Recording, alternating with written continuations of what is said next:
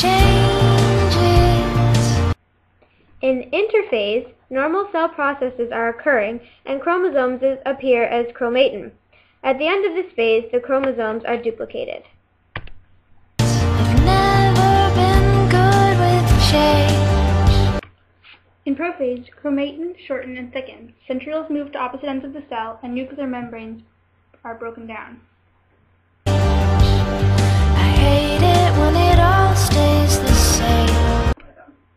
In metaphase, chromosomes line up at the equator and are attached to the centrioles by the spindle fibers.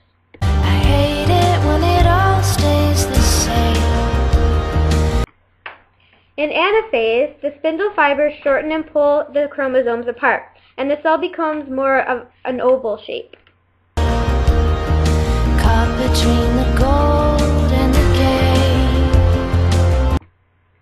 In telophase, chromosomes begin to form coils again, and the nuclear membranes reappear as the cell membrane begins to pinch in. My heart beats up again.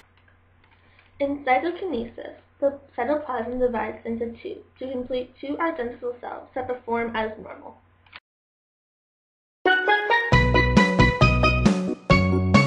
Well, if the process of mitosis leaves you in a daze, then you need focus on each separate phase. The letters P, P, M, A, T will help you memorize them individually.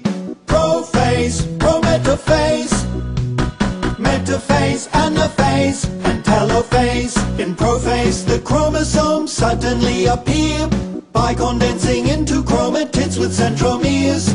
Pairs of chromatids, like tiny coiled ropes, are visible